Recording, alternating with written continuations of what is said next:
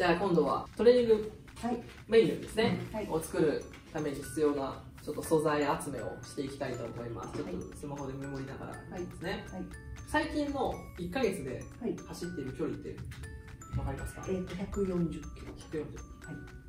この140はどれぐらい継続してますか？継続してるのは基本的にずっと1年ぐらいは取れるやる感じでも平均的にうん140ぐらいですすね。OK です。その140を、えー1週間で割り振るとうん。どんな感じで踏んでますか、まあ、1週間の平均的な過ごし方ですね。例えば、まあ、週末は時間があるから週末長いの走ってみたいな感じで月火水木金土日をどんな感じで過ごしているかっていうえっと多分その140ぐらいって123ヶ月とかって、はい。障害緑地でちょっとにに20キロのはい。こうなんかロング走のうん。練習会みたいなのがあります。あーはいはいはいはい30キロのロング走がありますとかっていうのをはい。月に、えっと週末に月2回ぐらい入れてあそれでこうなんか距離を保ってるんあですそういうことですね。ちょっと週末のイベントみたいなのをあ使そうですそうです。ってちょっと距離を稼使ってぐみたいな感じですね。20キロ以上はその場合はそれで走るみたいな感じですわかりました、はい。あと平日はじゃあどんな感じですか？平日はえっ、となんか水曜日ぐらいにはい。ちょっと10キロぐらい入っててはい。木曜日ここに来て始める木曜日はレッスンで。とそうですね、はい。大体月月金休んでるみたいなあそういうことですね、はい。火曜日はどれぐらいですか？あ火曜日も走るなんか休んでる OK ですじゃあ週の真ん中ぐらいに走ってあとは週末にちょっと頑張る。そうあそんな感じです。そんな感じです。い。では今1キロ全力で走ろうと思ったらどれぐらいで走れそうですか？もう1キロもう1本。1本。1本。ギュッとギュッと走る。はい。4分35ぐらい。4分35はい。いいですね。細かくいけますね。はい。35秒。次は3キロ。3キロ。えっ、と1月になんかここで1回タイムトライアル、はいはいはい。5キロと3キロとあった時あにちょうはいど3キロを走って、その時が15分うんほにゃららみたいなえっ、と割と前半って感じですか？15分ちょいって感じですか？いやちょいじゃないです。15分半ぐらい。半は超えてる超えてます、えっと、5分、まあ、10秒10秒ぐらいのうんぐらいのですかね。感じです5キロは分かりますか？5キロは、えっと26分ぐらいです。26分。はい。5キロも。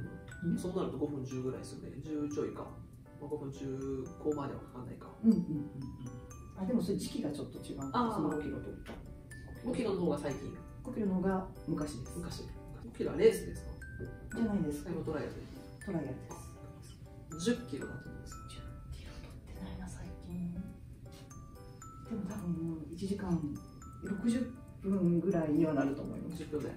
なんとなく自分の感覚で。OK です、はい。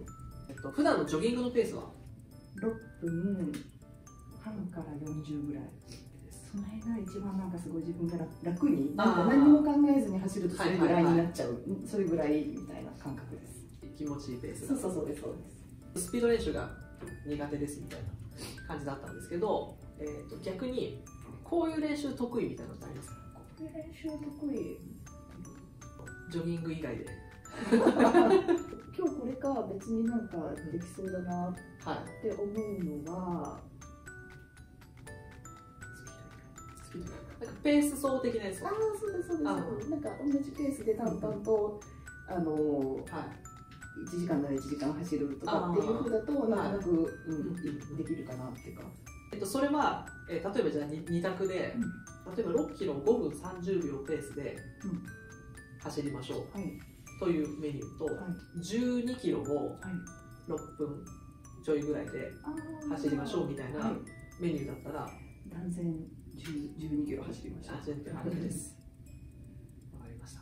やっぱりあれですね、そうなると、どっちかというと、長い距離をゆっくり走るみたいなアプローチのトレーニングの方が、まあ、やってきた回数も多いし、自分自身でメニューを組み立てるときに、割とそっちの方をやってみようかなって思うみたいな感じで、まあ、インターバル系のトレーニングショートインターバルスピード上げて走るトレーニングはあまりやってこなかった。ペース走みたいな練習メニューもやるんだけど、まあ、どっちかというと,、えー、と短めで速いペースというというよりはでちょっと長めでゆったりとしたペース走みたいなのが多いっていう感じですそうそう。そんな感じなんだけどさっきの1キロ3キロ5キロ10キロをどれぐらいで走れそうですかとお聞きした時に一番ぼやっとしたのって10キロだったんですよ。ああそうですね。はい。うんで一番細かい数字が出たのって1キロなんですよ、うんこの辺り結構バランスの悪い自分自身を正しくうん理解できていないっていう感じがするのでへえ。あそこをなんかもうちょっと詰めていった方がいいかなと思うのでうん。要はそこが連想できないからレースの組み立てもうまくいかないし長いレース例えばフルマラソン走るときに私はどのペースで持つんだろうとかっていうイメージが湧いてこないかったりするんですよね。だからあのもうちょっといろんな距離のちょっときついペースのトレーニングを入れていってもうちょっとえ10キロだったらこれぐらいで走れそうだなえ5キロだったらこれぐらいで走れそうだな。もっと言うと10キロだったらこのペースでいったらえ全力の8割ぐらいで終われそうだなとかこれぐらいのペースだったら6割ぐらいで終わりそうだなとかこれぐらいのペースだって余裕持って終わりそうだなとか精度を上げていくような期間も必要かなと思うのでが意識できるようなちょっとトレーニングプログラムを作っていくのではい。やることはまあフォーム改善をしながらうん。もうちょっと自分自身を知るようなうん。トレーニングの期間をやった方がいいかなと思います。うん。でそれがないないとじゃあ強化練習しましょうってなった時にあの適正ペースに落とせないんですよ設定を。このヒアリングをした時に結構細かく答えられる人ってあの自分自身のことより結構理解できてる人なんですよね、うんすごい細かく分かる人って一人でやる時は大体このペースですとか誰かがいたらこれぐらいまで行きますとか大会だとこれぐらいですみたいなのが分かったりするんですよね、だからなんかそれも、えー、と練習メニューに結構左右されて、うん。レッスンの時にやるんだったら、えーこういう練習メニューの設定ペースが出てるけどレッスンで誰かと走ってるからもうちょい上げても同じぐらいでねとかってできるので、なんかその辺のちょっと精度を上げていく必要があるんでそれをちょっと探るところからスタートしていくべきかなと思うので、ちょっとメニュー的には3キロをちょっと頑張って、えーまあ、全力に近いところで走りましょうみたいな感じのメニューからスタートしていってちょっと細かいインターバル走みたいなものはもうちょい先に置いておいてもいいかなと思います。でまあ、やることはフォーム改善と、まあ、自己理解的なものをちょっと上げていくところからスタートしていきましょう。はい設定タイムをベースに、えー例えば3キロを16分で走ってみてくださいとか2本目は1本目16分で行って2本目は、えー、と15分30で行ってみましょうみたいな。じゃあ16分はどう感じたのか15分はどう感じたのかみたいなものをちょっとすり合わせていけたらなと思います。という感じでトレーニングメニューを組み立てるときに大事なのはちゃんと自分自身がどれぐらいでどれぐらいの距離を走れるかっていうのをちゃんと知っておくこと。で割とこれこうやってヒアリングをしててオグリンから出てきたタイムと実際にやってみたら全然違うじゃんみたいなことって結構あったりするんですよ。そういうのがやっぱりずれてると全然いい練習ができなかったりするので。のでまずトレーニングメニューを組み立てるときに一番大事なのはちゃんと自分自身の走力を自分自身で把握することからスタートしてちゃんと分かるようになってきたらちゃんとしたメニューに落とし込んでいくみたいなことが大事なので手を抜いて次のところに行かないようにちゃんと自分自身を深める。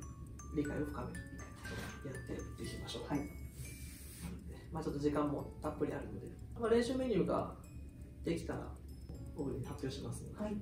まずは基礎作りはい。そうからスタートしていきたいと思います